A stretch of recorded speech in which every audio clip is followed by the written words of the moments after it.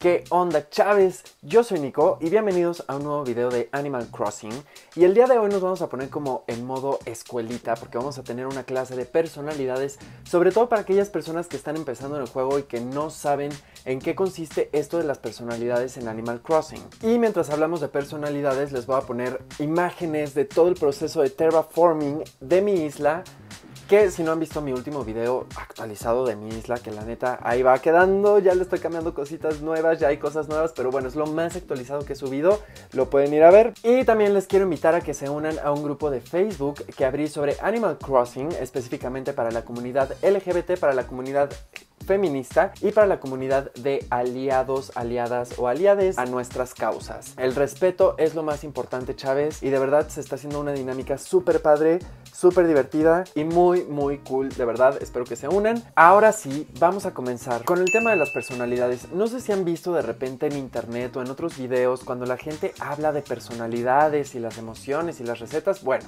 pues justamente tiene todo que ver. Depende la personalidad de tu vecino o vecina o vecine, depende la receta o las emociones, reacciones que te puede enseñar. Es por eso que si de repente sienten que están recibiendo muchas recetas repetidas, lo más probable es que tengan varias personalidades repetidas o con que tengan dos de la misma personalidad va a suceder. Ahora, solo son 8 personalidades y son 10 los vecinos que podemos tener en el juego. Por lo que si hacemos cuentas, prácticamente pueden tener uno de cada personalidad y dos personalidades repetidas o tres de una misma personalidad. Yo no sé si ustedes se acuerdan que al inicio de estos videos yo les decía que tenía que cambiar las personalidades porque tenía 6 smogs. Prácticamente estaba abarcando espacios de más. Pero bueno, vamos a hablar de las personalidades que son 8. Existe el tipo de personalidad normal perezoso, atlético, presumida, dulce, snob, gruñón y alegre. Cabe mencionar que estos son los nombres en español de Latinoamérica, porque en España le pusieron otros nombres a algunas de estas personalidades y puede llegar a ser muy confuso. Así que aquí vamos a estar utilizando las personalidades en español latino y en inglés, que sería normal, lazy, jock, snooty, sisterly, smog, cranky, y Peppy. Les voy a ir poniendo ejemplos de algunos de los vecinos según la personalidad. Y pues al final cada quien juega como quiere y es decisión pues, de cada persona, los vecinos que tenga. Hay personas que quieren sacar las fotos de sus vecinos favoritos, está perfecto. Habemos personas que queremos sacar todas las recetas y todas las reacciones, está perfecto. Pero hay que saber justo qué tipo de juego queremos jugar para saber en qué podernos enfocar. Entonces, para mí por ejemplo era muy inicio tener una personalidad de cada uno. Les voy a poner ahorita mis vecinos cómo están. Están un poco desbalanceadas, pero de todos modos tengo uno de cada personalidad. Algo que también sucede con las personalidades es que se dividen por sexos. Hay personalidades que son exclusivas para el sexo masculino y otras para el sexo femenino. Por ejemplo, la personalidad normal es una personalidad exclusivamente femenina. Tienen opiniones neutrales sobre hobbies, otros personajes, otros vecinos, en general como que se llevan bien con todos y son personalidades también como muy lindas, muy tiernas, dulces, por así decirlo, solo que no quiero usar la palabra dulce porque hay una personalidad que se llama dulce y nos vamos a confundir. Algo un poco triste, por ejemplo, de las personalidades normales es que de repente como que no se sienten suficientes, que no se sienten merecedoras. Entonces es normal que varias personalidades normales, si no las atiendes, si no hablas con ellas todos los días, si no les das cositas, pues se quieran ir de tu isla porque necesitan de cierto modo como un trato especial. Son un poco obsesivas con la limpieza y con la higiene. No están preocupadas por su físico y son felices prácticamente con lo que tienen. Se llevan muy bien y muy fácil con personalidades como los snobs, los perezosos y otros normales o incluso hasta con las presumidas. Sin embargo, pueden tener conflictos con las personalidades gruñonas. Yo, por ejemplo, tenía a una de mis personalidades normales viviendo al lado de un gruñón y bueno, pues duró poquito, la verdad. y eso es por mencionar poco de las personalidades normales. Ahora hablemos de la personalidad perezosa, que es una de mis favoritas. Son súper tiernos estos vecinos, son muy relajados y les encanta la comida. De repente se van a encontrar estos vecinitos así que sentados en medio de la nada disfrutando de la tarde y eso a mí me mata de ternura. Son muy relajados y se llevan como muy bien con todos porque como que no tienen problema, o sea, son los buena onda. Son amigables y hospitables cuando interactúan contigo, jugador, con otros vecinos. Son muy seguros de sí mismos y de su estilo de vida, cosa que también me encanta. Según yo, son los que se van a dormir más temprano. A las 10 de la noche ya no los vas a poder ver porque ya se fueron a dormir y se despiertan también muy temprano. Se llevan muy bien con todos, pero con los que van a tener un poco de conflictos, ya siento que estoy hablando como de horóscopos, pero son con las personalidades atléticas, ya que sus estilos de vida pues son muy diferentes, como podrán imaginarse el atlético pues le encanta el ejercicio y al perezoso evidentemente no. Y también a veces se pueden sentir un poco aplastado por las presumidas, ya que ya hablaremos de las presumidas que me encantan, pero pues, tienden a ser muy presumidas con su estilo de vida y con su alimentación y su dieta, entonces eso le puede costar trabajo a los perezosos y sentirse un poco criticados. Así que ya saben, si tienen un perezoso, no lo pongan a vivir cerquita de una presumida o de un atlético. Y hablando de los atléticos, esta también es una personalidad exclusiva para el género masculino. Y como dice el nombre, pues son muy atléticos, siempre están hablando de sus abdominales, de sus músculos, de sus ejercicios, de su tonificación, son muy optimistas, muy energéticos, por ejemplo, estos suelen estar corriendo como por la plaza y también es algo muy muy tierno, le gusta hacer sentadillas, lagartijas y todo el tiempo te está motivando a mover el cuerpo.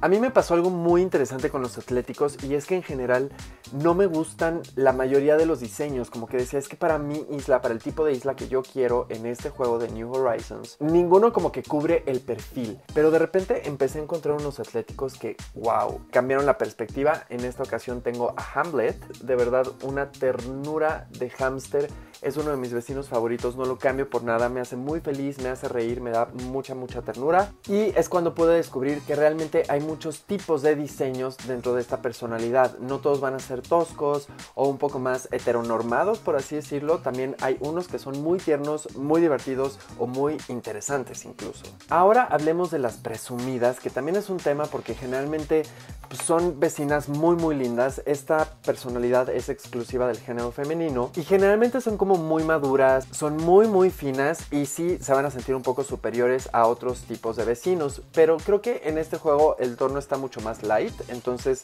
no, no es como presumida mala onda, sino es presumida pues porque, porque pues así lo es hablan muy bien y a veces pueden parecer un poco rudas, pero no lo son. O sea, por ejemplo, si hablas varias veces con una presumida en un día, te va a decir así como de, ¿qué onda? O sea, ya hablamos como 40 veces, ¿todo bien? También de repente se encuentran dando consejos de vida, cosa que me parece muy divertida. Y cosas como que van con el autoestima. Por ejemplo, yo el otro día encontré a Judy dándole consejos de vida a Merengue y Merengue le decía, es que te admiro porque eres muy segura de ti mismo. Y Judy le daba unos consejos, bueno, Judy es muy sabia.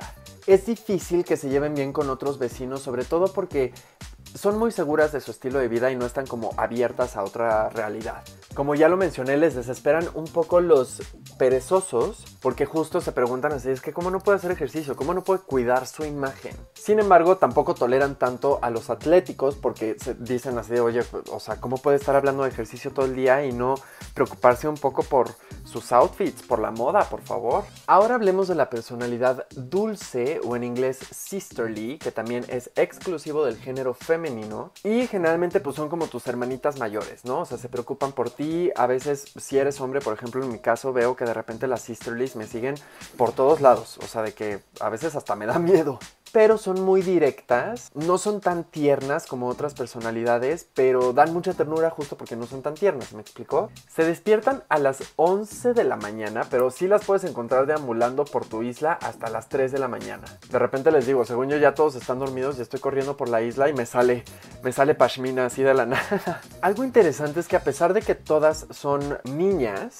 pueden haber otros vecinos que se refieran a ellas en pronombres masculinos y generalmente una de nuestras vecinas iniciales seguramente les tocó alguna sisterly. Ahora hablemos de otra de mis personalidades favoritas porque creo que estos me gustan tanto que siempre tengo más de los que debería de tener y si por mí fuera creo que casi todos serían de esta personalidad porque me gustan mucho sus diseños y son los snob, en inglés smog. Este es el tipo de vecino que va a ser un caballero, que va a ser elegante, que va a ser súper tierno, súper lindo, pero un caballero de pies a cabeza. Son como una mezcla de todas las personalidades porque pueden ser muy solidarios, muy lindos, muy positivos, muy optimistas, pero también un poco presumidos y hasta con complejos de superioridad. Son muy coquetos, muy coquetos, créanmelo. Y duran largas jornadas durante el día porque se despiertan a las 8 y media de la mañana y se duermen hasta las 2 de la mañana. De estas personalidades solo hay 35 vecinos. Es como de las personalidades que menos vecinos tienen.